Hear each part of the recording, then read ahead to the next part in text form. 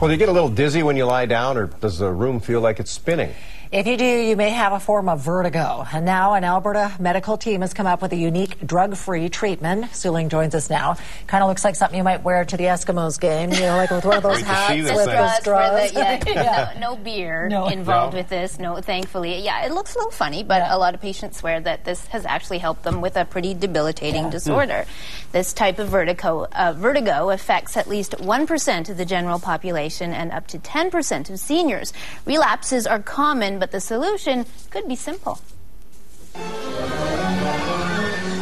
This Hitchcock classic brought vertigo into the spotlight, but for many, debilitating dizziness is real life. Got up out of bed and, and basically fell back onto the bed. I mean, it was that severe. Randall Roberts was diagnosed with BPPV, benign paroxysmal positional vertigo, after a car crash 20 years ago. The windows didn't break, but there was a pressure wave that went through the car and kind of hit my right ear. The damage to Randall's ear caused particles to come loose and float around the balance canals of his inner ear.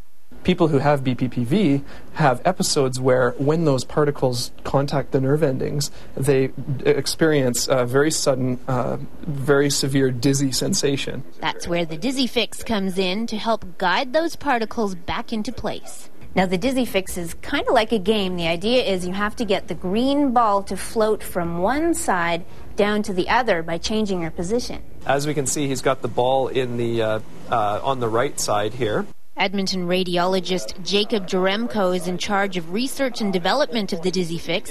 It was invented by a Calgary doctor. Guiding the ball through the oil filled tube takes about three minutes, a simple solution to an otherwise complicated maneuver you can do the maneuver, but you have to do, do the maneuver properly, and the, the Dizzy Fix uh, makes it really, really simple to do.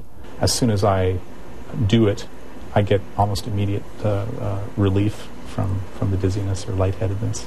Dr. Jaremko says clinical trials show the device is as effective as treatment in a doctor's office. We got 88% of the people who had uh, BPPV were cured with this, uh, um, at least until the next recurrence. Randall uses the Dizzy Fix whenever he feels the room spinning, about every six months. He says the best part is it's drug free.